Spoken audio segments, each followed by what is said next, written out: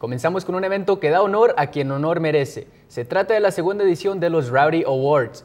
Se llevó a cabo en el Tivoli Turn Hall a media semana. Ahí se reconocieron a los estudiantes atletas de MSU Denver por sus logros este año. La mejor jugada defensiva, la mejor jugada ofensiva, equipo del año, atleta femenino y masculino del año también fueron algunos de los galardones entregados.